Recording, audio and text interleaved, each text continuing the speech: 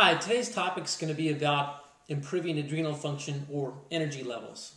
Most people in America suffer from some degree of adrenal exhaustion or adrenal fatigue, and um, I'm no exception. That's in fact one of the things that's launched me into being a nutritionist was my personal adrenal exhaustion that started when I was 20 years old.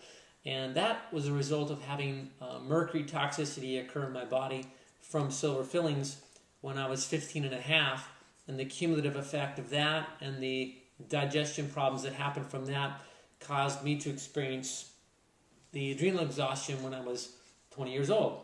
So I have had to play around with my diet and with supplementation extensively, more than the average person, to recover the degree of adrenal or physical energy that I used to experience.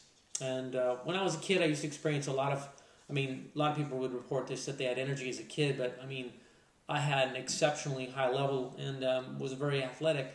And um, I know what my body's capable of experiencing once the adrenals are fully functioning. So, with that as my measuring stick, I've worked with a lot of different products over the years and found that most of the adrenal supplementation on the market um, fails to address uh, properly supporting the body's ability to produce energy.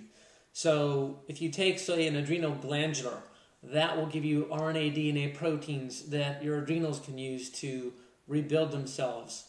However, I found that that method didn't rebuild mine, and I never recovered by using adrenal glandulars. And there's many versions of adrenal glandulars on the market.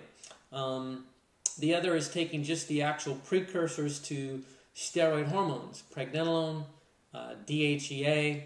Um, these will help you to make more testosterone, estrogen hormones. And as helpful as that may be, it's temporary in nature and it doesn't really seem to produce exceptionally high levels of energy. Um, there's two parts to the adrenal glands, and the adrenal glands sit on top of your kidneys. And there's one that's called the part that's called the cortex, and the other part that's called the medulla. And the cortex produces the steroid hormones. It also produces cortisol, which regulates your glucose levels, and aldosterone, which regulates your mineral levels and your water fluid levels and your blood pressure and things like that. And um, then there's the medulla, which produces the epinephrine and the norepinephrine. And that is the hormone responsible for your energy levels on a day to day basis. So that when you drink your caffeine drink, if you've ever been a coffee drinker or still are, then that caffeine is stimulating the medulla to release adrenaline and produce the energy. However, that's not the most effective way to produce energy because anytime you stimulate your adrenals, it leads to depletion and um, also blood sugar fluctuations. So you end up being more tired. And um, if it's coffee you're doing it with, it's an acidifying, it creates an acidification process. It helps you to lose bone mass to maintain your proper pH and it's just not good for you, and you won't you won't like the cumulative effects as you use it year in and year out. Um, so what I've also and then in the area of uh, herbal support, um, there's products like rhodiola, um, licorice, ginseng, and Eleutheros centicoccus. Um, those four herbs have been promoted as support for adrenal function. But what I found is, is that they're more stimulatory in nature, so that if I take any one or a combination of those kinds of herbs, um, I might get a short burst of energy, but typically it's very quickly thereafter that I feel this fatigue. And that's because anytime you have very exhausted adrenal glands, that little bit of herbal stimulation um, will quickly lead to the fatigue and um, doesn't result in you know producing the energy you wanted. So the real mechanism you need to support in your adrenal glands to be able to produce energy is the medulla. So I found that the epinephrine and the norepinephrine, that's where you get your energy from. So in order for you to have a daily good supply of energy, one is you definitely need to sleep soundly each night. And you need to sleep at least five hours or more, uh, preferably, to recover your full adrenal capacity to produce your optimum level of adrenaline on a day to day basis that gives you the drive, the focus, um, and the ability to enjoy life. Um, so, as I said, most of us are stressed to some degree or another. We may not get all the sleep we need.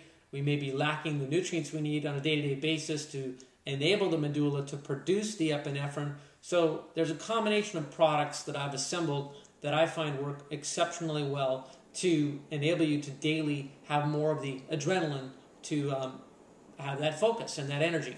So here they are. Um, first off is taking a free form amino acid supplement that contains phenylalanine in it in the right ratios and including the branched chain amino acids. This full spectrum amino acid supplement that I work with is called Amino Sports, contains 16 amino acids, and it contains the three branch chains of valine, leucine, and isoleucine. Those are the ones that repair your muscles. So if you want to help yourself experience more muscle strength, this will also be a product you'll enjoy taking. Um, also, the phenylalanine in it is what is the building block for making the adrenaline in your body. So your body uses that phenylalanine, makes the epinephrine and the norepinephrine, and you have more mental and physical energy.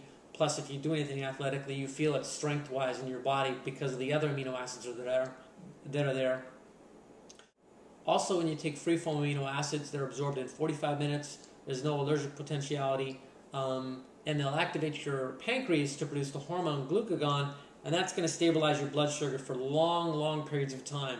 One dosage of amino sports, and you'll probably experience the energy from it and the blood sugar stability for six to eight hours in the day, or more sometimes. Um, the next product is to take a trace mineral supplement so that your body can convert the amino acids uh, into the corresponding hormones or neurotransmitters. So you need a good trace mineral supplement to do that because trace minerals are what marry proteins to be to make to make metabolic enzymes, and then these metabolic enzymes are involved in converting the phenylalanine into the epinephrine and norepinephrine. so Mineral Magic addresses the trace mineral needs of the body. Um, I favor Mineral Magic over all of the trace minerals because, um, especially the uh, compared to the Great Salt Lake or the ocean water salt minerals, I find these don't work at all to help create metabolic enzymes, and um, that they're more like just an electrolyte. So Mineral Magic does do that, and um, people have reported a lot of benefits on Mineral Magic. 99% of the time, people report energy improvements.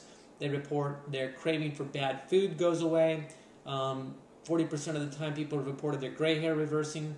So Mineral Magic is an exceptional exceptional product. It just really delivers results.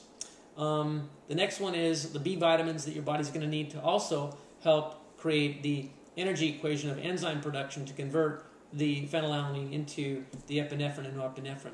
Um, so there's two different choices you have in the B vitamin category from us. One is to take Barley Max. Um, Barley Max is a superfood from barley grass juice powder and alfalfa grass juice powder that contains all the B vitamins. In fact, all the vitamins your body needs except vitamin D. And that um, it also helps alkalinize the body, which is also good because people always run excessively acidic. Um, they need to supplement to be, be able to create an alkaline pH. And it also is a blood builder because of its high chlorophyll content. So you could use Barley Max for your B vitamin source, or you can use something called Max Stress B Nanoplex. This is a unique product. It's nutritional yeast. that's been um, eaten up by bacteria that have converted the um, B vitamins in the nutritional yeast into the active form of the vitamin, and that active form of the vitamin is uh, requires no further conversions to be used. So when you take into your body any B vitamin supplement or B vitamin from a food, there's about five different conversion steps it has to go through before it's actively usable to, by your body, and that's already done for you by the bacteria.